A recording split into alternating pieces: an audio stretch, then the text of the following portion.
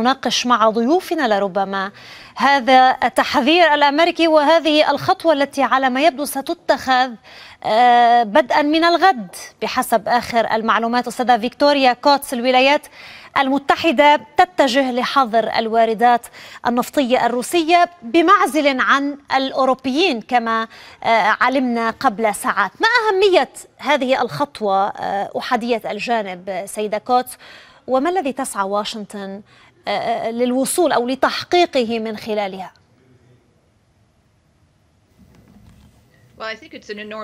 أعتقد بأنها خطوة مهمة جدا وهي آه، طلع الولايات المتحدة قادرة على ذلك. الكثير من الأمريكيين طبعا آه، تعجبوا من أن هناك 8% من الصادرات من النفط حاجتنا النفطية.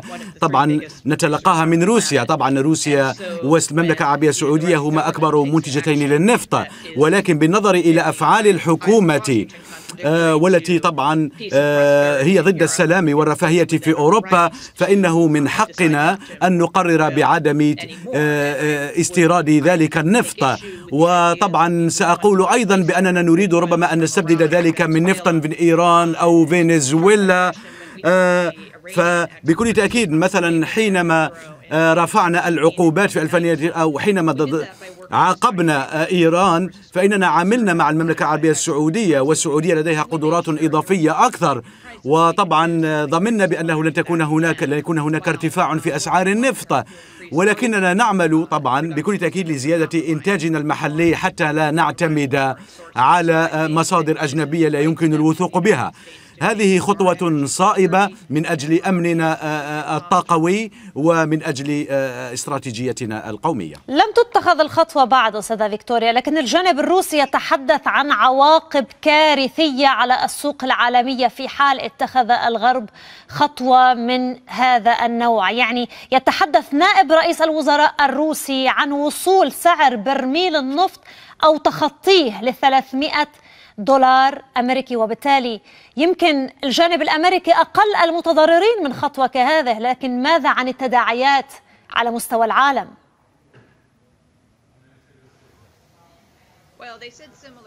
لقد قالوا أشياء نفسها حين واجهنا إيران وعاقبنا إيران ولم يحدث شيء.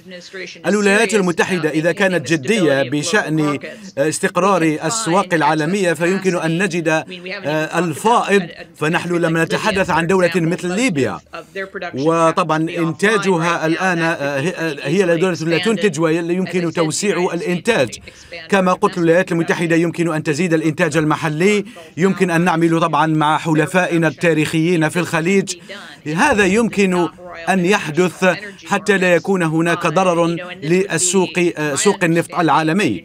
وأنا أفهم بأن الخطوة الأمريكية وطبعا ألمانيا كانت واضحة اليوم بأنها لن تتخذ هذه الخطوة. ليس كل الغرب إذا متحدا بشأن بشأن هذه القضية. ولكن أنا لا أرى بأن هذا شيء مأساوي إذا وصل أو بأن النفط سيصل إلى 300 دولار. الموقف الأوروبي سنناقشه مع الأستاذ محمد قواس بعد قليل لكن مسألة الولايات المتحدة بالذات من الواضح لربما أن التحركات الأمريكية الأخيرة هذه الزيارة الأمريكية إلى فنزويلا خلال الساعات الماضية. الحديث اليوم في وسائل الإعلام الأمريكية عن إمكانية زيارة الرئيس بايدن إلى دول الخليج. أيضا إشارات إلى أن الجانب الأمريكي أستاذة فيكتوريا يبحث عن بدائل سأحاول أن أعود إلى هذه النقطة إن سمح الوقت في سياق هذا الحوار. أستاذة إلينا آه، ما إن تم الإعلان عن بحث هذه الخطوة حتى توالت المواقف الروسية ونحن نتابعها تباعا؟ تحذيرات واضحة جدا. كما ذكرنا موسكو تحذر من أنه سعر آه، النفط قد يصل إلى 300 دولار للبرميل في حال حظر الصادرات الروسية. وبالتالي كيف يمكن لموسكو أن تتعامل مع القرار الأمريكي إن اتخذ. كانت قد تحدثت نانسي بيلوسي بالأمس إلى أنه الهدف حظر استيراد النفط منتجات الطاقة الروسية. سيفسح ذلك آه، المجال العلاقات آه، التجارية الطبيعية مع آه، روسيا بل سيفسخها كما قالت تحديدا. والهدف منع روسيا من الانضمام إلى منظمة التجارة العالمية. هل يؤدي هذا القرار حقيقة أستاذة إلينا إلى عزل روسيا اقتصاديا؟ لحتى الآن هذا القرار هو يستثني دول أوروبية ولكن بهذه القضية كل شيء وارد. هنا أنا أتفق مع زملائي.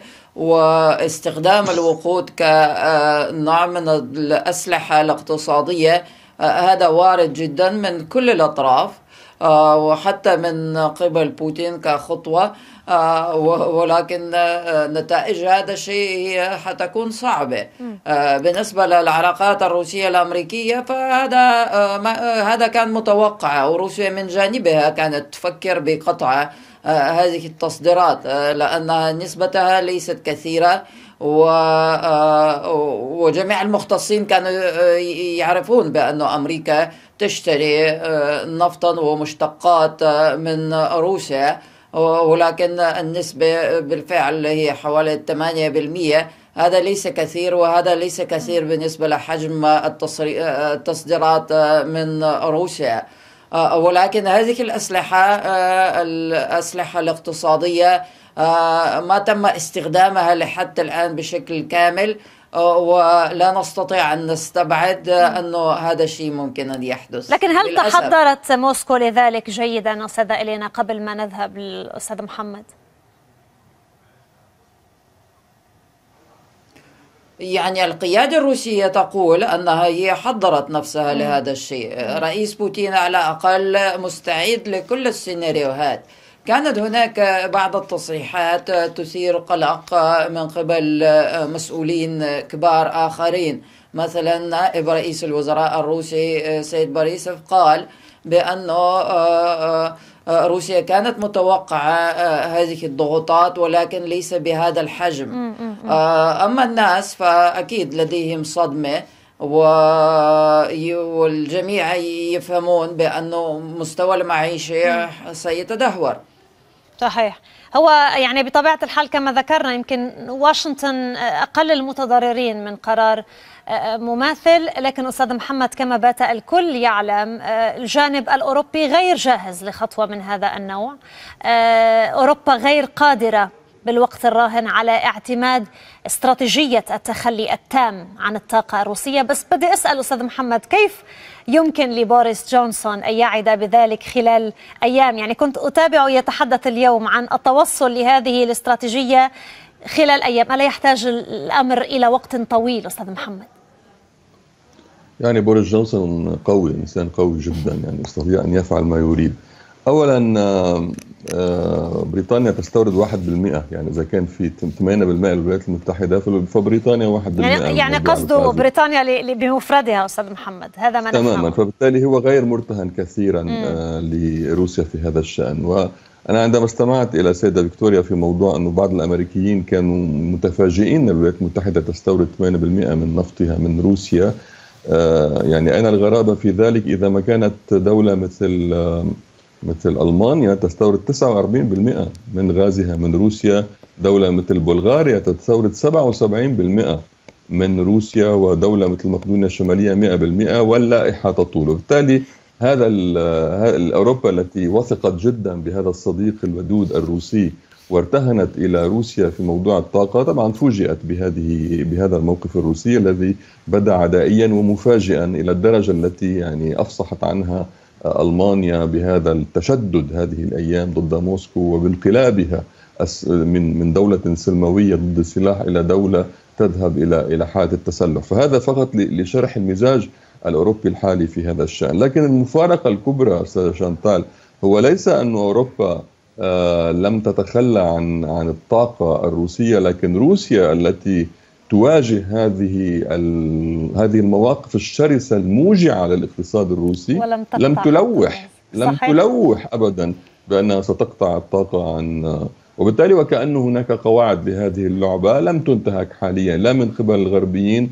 ولا من قبل الروس حتى إذا كانت الولايات المتحدة تريد أن تستغني عن 8% فهذا لا يعني أن هناك ثورة كبرى في موضوع الغاز. ثانيا أن روسيا ستبقى منتصرة. يعني عندما يكون هناك حوالي 175 دولة 176 دولة ضد الحرب صوتوا في في في في الجمعية العامة المتحدة. طبعا 141 كانوا ضد و35 امتنعوا.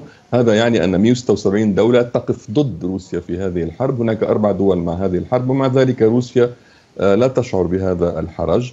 ولا أعتقد أيضا في حال يعني تم اعتماد هذا النهج. هذا ماذا يعني اعتماد هذا النهج؟ هذا يعني أن الولايات المتحدة تقود حربا ضد روسيا وبالتالي عندما تقرر الولايات المتحدة أن تقود حربا ضد ضد روسيا هذا يعني تموضع كامل وتحول كامل في كل العلاقات الدولية المتشنجة المتوترة الباردة مع بعض الدول المصدرة للنفط للمساهمة في هذا المجهود الحربي. وهذا عقلانيا مفترض أن تقلق منه روسيا جيدا. هي كثيرة هي الأمور التي نقلق منها أستاذ محمد قواس وضيوفي الكرام. يعني اليوم نتحدث عن النفط معكم لكن في ورقة أخرى مخفية حتى الساعة لكنها بإمكانها أن تشكل قنبلة موقوتة على أوكرانيا والدول المجاورة بمن فيهم. روسيا بالذات. دكتور إيفان الانعكاسات السياسية الاقتصادية المالية ستظهر تباعا كما ذكرنا في بداية هذا الحوار لكن الانعكاسات الأمنية على ما يبدو ستكون الأقصى على أوكرانيا ومحيطها، اليوم الحديث عن إنعاش سوق المقاتلين الأجانب أو ما يعرف بسوق المرتزقة. البعض يتحدث دكتور إيفان عن تكرار المشهد السوري، المشهد الأفغاني، اليوم على ما يبدو ممكن لذلك أن يتكرر في أوكرانيا، ألا تتخوفون من تحول كييف بداية إلى وجهة للتطرف؟ لا, لا نتوقع ذلك لأن أولا نحن نعتمد على جيشنا وعلى شعبنا الذي تسلح الذي يمكن كل الرجال الذين يتمكنون من من حمل السلاح فهم جاهزون للدفاع عن أوكرانيا، بالفكرة أبي وأخي هم الآن يدافعون عن كييف وأنا من مدينة إربين.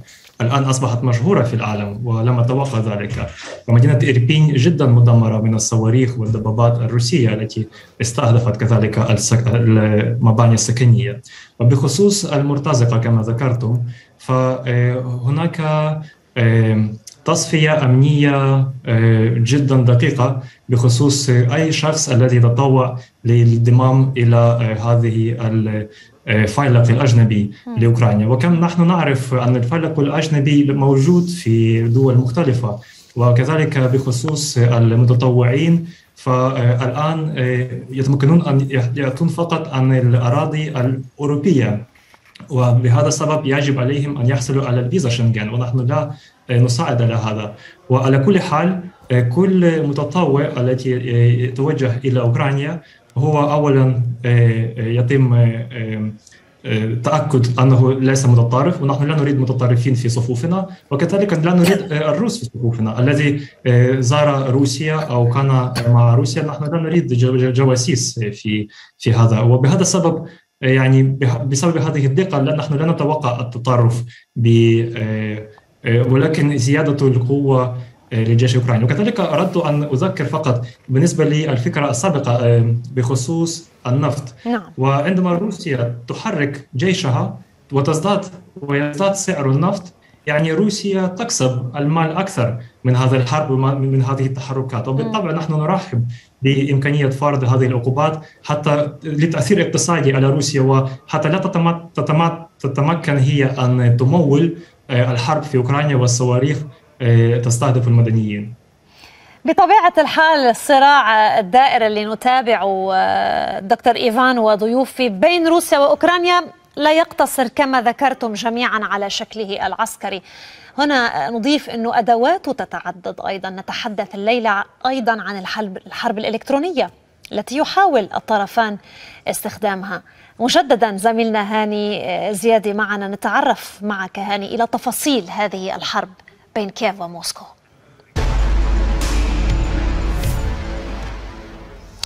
العمليات الميدانية ليست جبهة الحرب الوحيدة بين روسيا وأوكرانيا فالفضاء الإلكتروني شكل جبهة موازية لا تقل خطورتها عما يشهده الميدان. البرلمان الروسي كان قد وافق على قانون جديد يواجه ما أسمته الحكومة الروسية حرب المعلومات التي تستهدف موسكو كما أصدرت السلطات قوانين جديدة بشأن بث الأخبار الكاذبة. تعاقب أي شخص ينشر أخبارا تعتبرها موسكو مزيفة بالسجن. وترتب أو يترتب على هذا القانون وفق وقف عدد من المؤسسات الإخبارية ومواقع التواصل الاجتماعي خدماتها في روسيا. تعتبر موسكو أنها تواجه أو تعتبر أنها تواجه حملة معلومات كاذبة تهدف إلى تجويه صورتها وتنشر أخبارا مضللة عن الجيش الروسي. في المقابل اتخذ الاتحاد الأوروبي خطوات مشابهة بحجب قنوات آر تي ووكالة سبوتنيك في أوروبا بدعوى الحد من تأثير الدعاية الروسية على الرأي العام لشعوبها. استبقت الحرب الميدانية بين روسيا وأوكرانيا وحرب المعلومات حرب من نوع آخر وهي الحرب السيبرانية. قبل يوم من الغزو الروسي لأوكرانيا, لأوكرانيا أصاب شلل مواقع حكومية مهمة في العاصمة كييف. ووفقا لمختصين قام القراصنة بهجمات أغرقت الخوادم بطلبات غير مشروعة من خلال تحميل البنية التحتية للخوادم بشكل مرتفع مما أدى إلى توقفها عن العمل. ووجهت كييف اتهاما لموسكو بوقوفها وراء الهجوم السبراني وتتحدث مصادر صحفية عن أن الحكومة في كييف تبحث عن متطوعين قادرين على صد هجمات القراصنة الروس. وربما تسعى أوكرانيا في تنفيذ هجماتها السبرانيه لاستهداف البنية التحتية لتكنولوجيا المعلومات الروسية.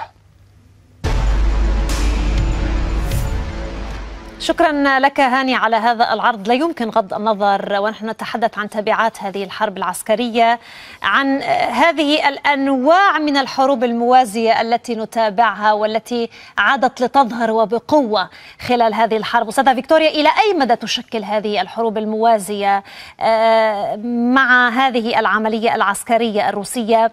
خطرا حقيقيا يمكن يوازي خطر العمليات العسكرية. نعم بكل تأكيد إنه تطور مهم جدا حين يكون هناك المعلومات والطاقة وهي تلعب دورا كبيرا. فمثلا كان هناك سيناتور قال بأن هذا النزاع هو نزاع الطاقة. آه، نحن طبعا لم نظن بأن آه، آه، الفضاء الأمني سيتضمن مواقع التواصل الاجتماعي. طبعا وأصبح هذا مسرحا كبيرا لهذه الحرب. بكل تأكيد قضية الأمن السيبراني ستكون في مركز الجدل الدولي. في واشنطن وفي دول الناتو وأيضا داخل أوكرانيا نفسها. إذا علينا أن نضمن بأن دفاعاتنا آه، تكون قوية وطبعا هذا مهم جدا. و...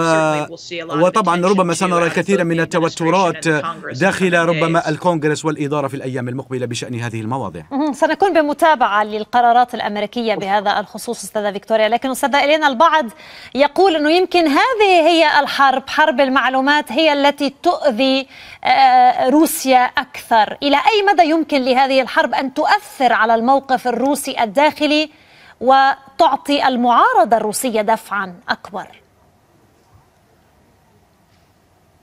آه، هي حرب المعلومات آه، على كل ليست سببا لهذا النزاع ولهذه الأزمة. لكن في قانون جديد أستاذة إلينا في, في قانون جديد البرلمان الروسي قد يوافق عليه أو كان قد وافق عليه بما يخص حرب المعلومات. يعني الأمر واضح أنه يؤذي آه، الإدارة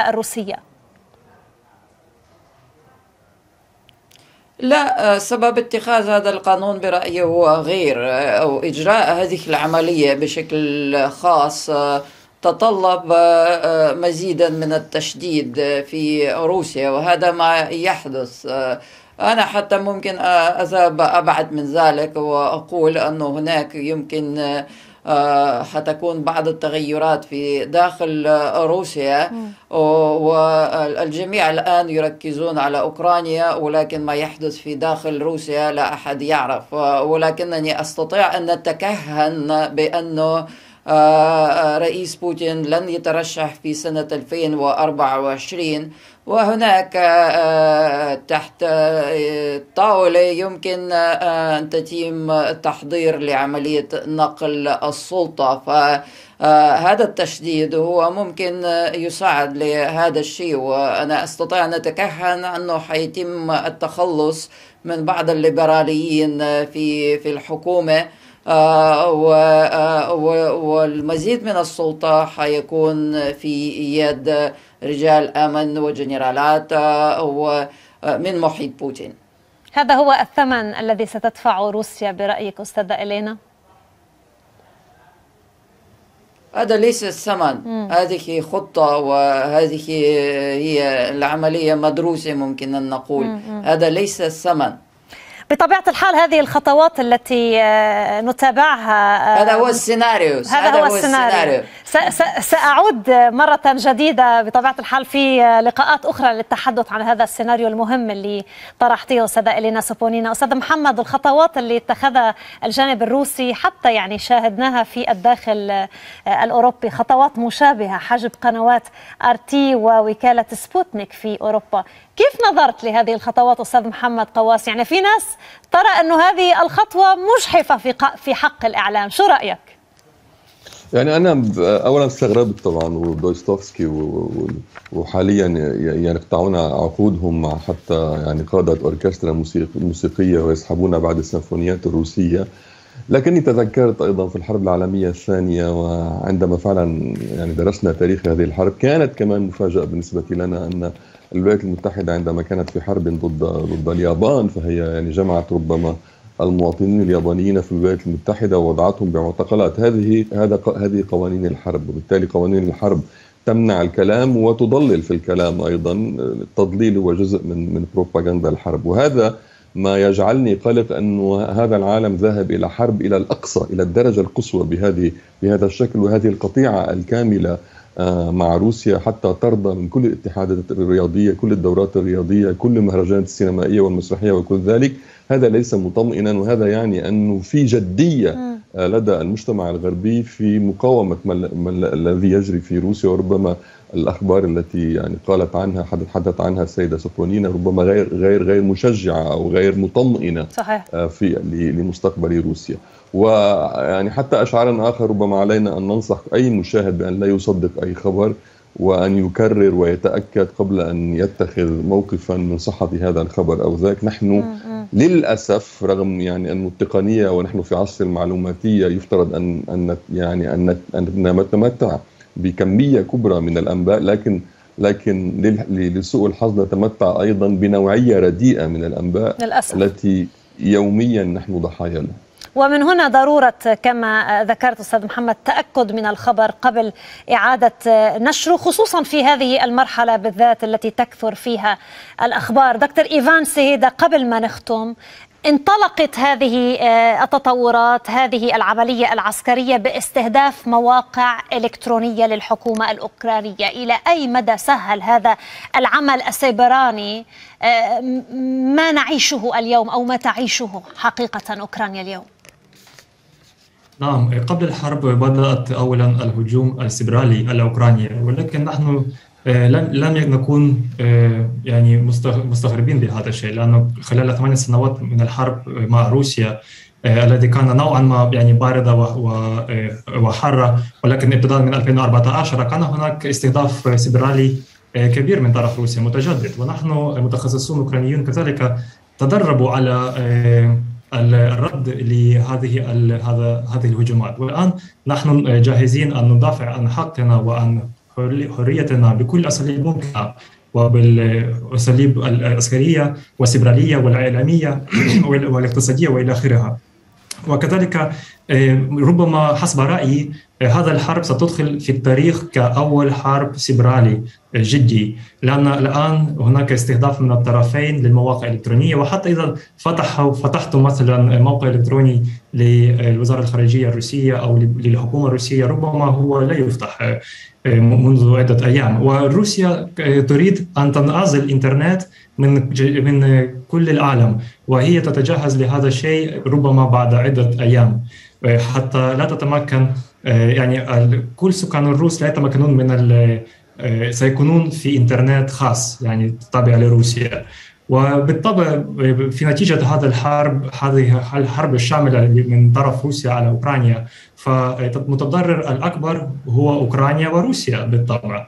وبهذا السبب نحن نطلب توقيف هذا الحرب وانسحاب القوات الروسية من أراضينا العالم أجمع متضرر من هذه الحرب التي نشهد عليها الآن. شكرا جزيلا لضيفي الدبلوماسي الأوكراني الدكتور إيفان سيهيدا من الكويت. شكر موصول لضيفي من لندن الكاتب الصحفي محمد قواس من موسكو. شكرا للمستشارة السياسية في مركز الدراسات الدولية إلينا سوبونينا. وأشكر ضيفتي من واشنطن الليلة مساعدة الرئيس الأمريكي السابق دونالد ترامب ونائبة مستشار الأمن القومي السابق لمنطقة الشرق الأوسط وشمال أفريقيا فيكتوريا كوت شكرا لكم